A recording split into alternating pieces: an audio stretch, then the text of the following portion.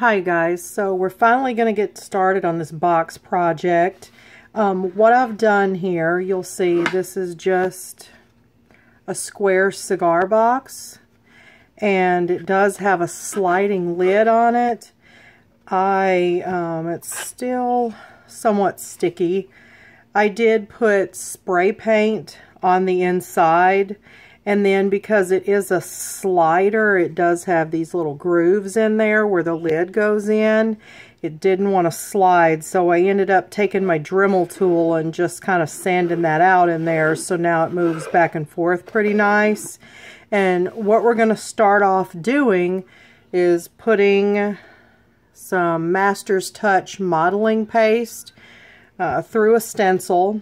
And this is a Finnabair stencil and I'm just going to use the same stencil on the whole box. And I want it to show on here and I'll have to, after I've done it I'll have to slide the lid off and kind of clean it up a little bit. But we're just going to start to get the modeling paste on there. And I'm just going to use the silicone brush that I have which is also from Art Basics and that's Finnabair as Well,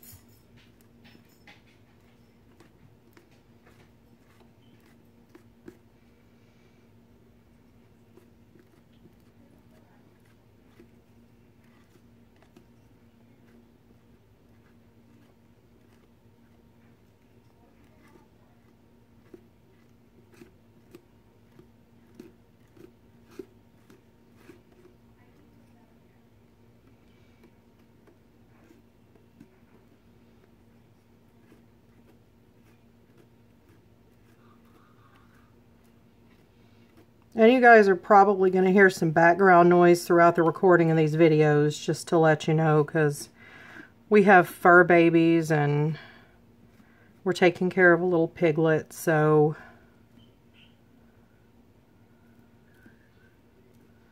If you do hear something, don't be alarmed. That's just everyday life at my house.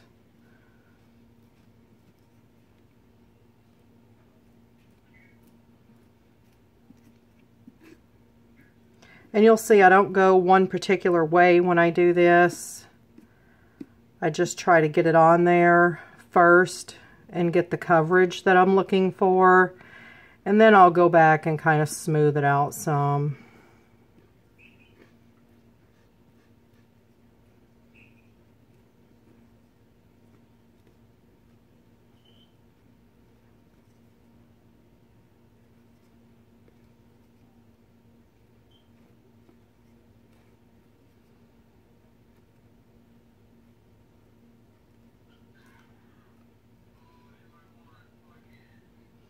But I like all the texture too.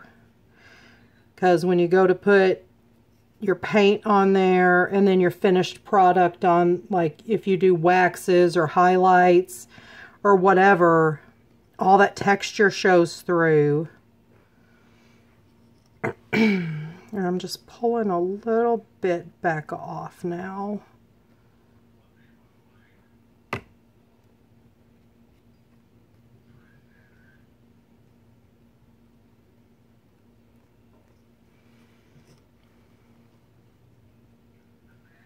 Okay.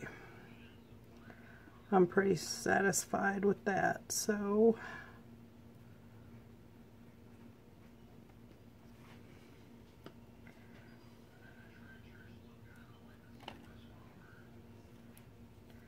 All right, I'm going to go wash the stencil and then we'll clean this up a little bit.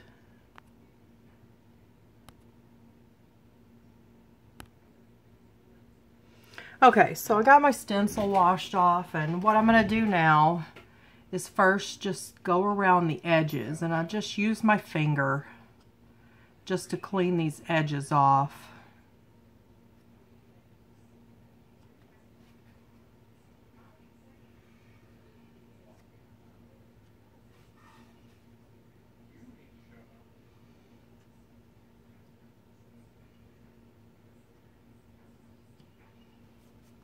Okay, so now what I did was I kind of covered this hole here that you use to pull your finger or to slide the box out. So just gonna get down in there and get that because I have to use it to pull this out. Uh, let's see, there we go.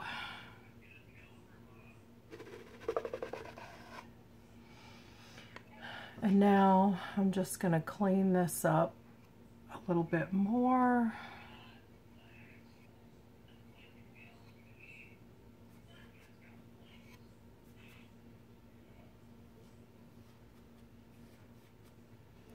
And then I'm going to set this aside to dry.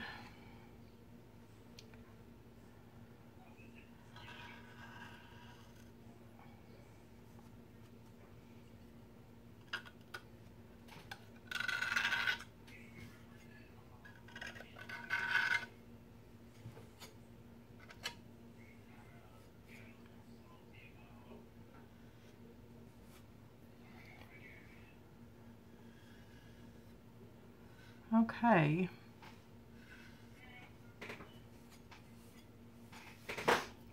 And then what I'm going to do now,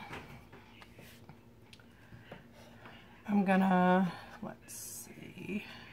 Oh, I ended up, yeah, that happens sometimes. I'm kind of messy.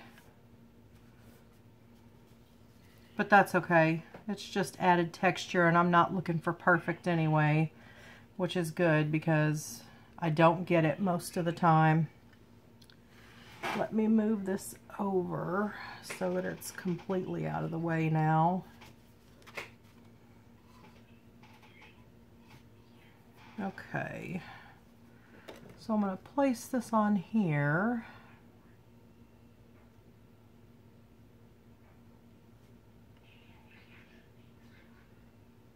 And then I'm just going to do the same thing.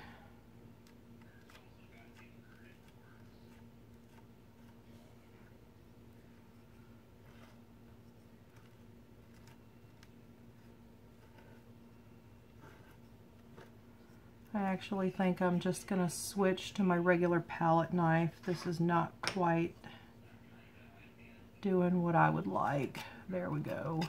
Much better.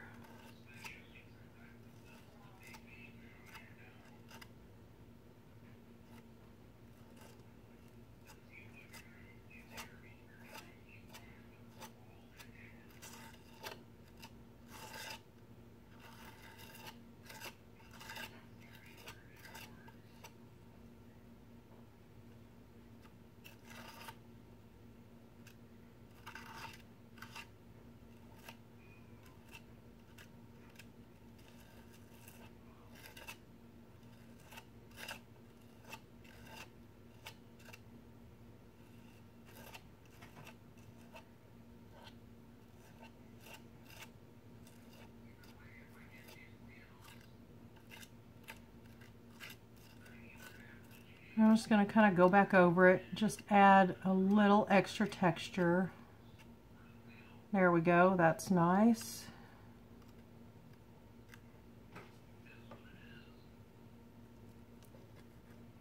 There we go. Okay, so I'm going to wash the stencil again. I wash it between each application just to get the cleanest imprint that you can get. I mean, you don't absolutely have to if you don't want to.